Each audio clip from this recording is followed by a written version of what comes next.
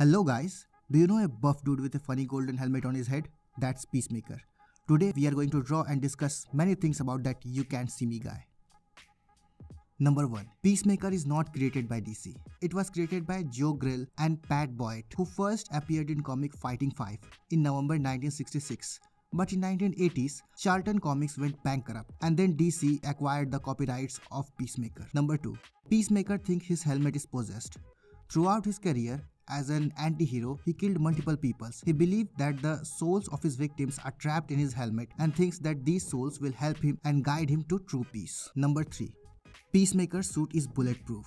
The costume or the suit worn by Peacemaker are not just a costume to show off his biceps. He made his costume himself using a special fabric which is very flexible and can hold bullets. It means not just his shiny helmet but his suit can also hold bullets. Number 4.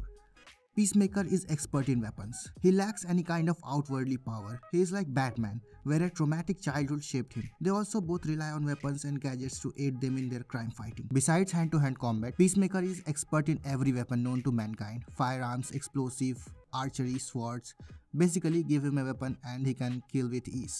Also, he is very skilled piano player. Number 5 the shining golden helmet. Peacemaker has different variation of his helmet. Each comes with a different capability. Don't worry, we are going to talk about all of them. But first, if you're enjoying the video, just hit the subscribe button. So the first helmet is standard helmet. This helmet features his trademark symbol, the dove of peace. It does not have any extra powers other than its durability. Sadly, he had to give his helmet away when he had no money to pay his taxi driver. Second is force field helmet. This helmet is capable of generating full body force field. Third, sonic boom helmet. This helmet allowed him to project a voice-activated sonic blast, which was enough to vaporize a human, destroy several cars, and create a large impact from shockwave. Fourth, underwater helmet. This helmet allowed him to breathe underwater. It has a fin on top. X-ray vision helmet.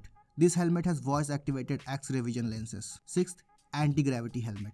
This helmet allows Peacemaker to float in air, but it's very difficult to navigate with this.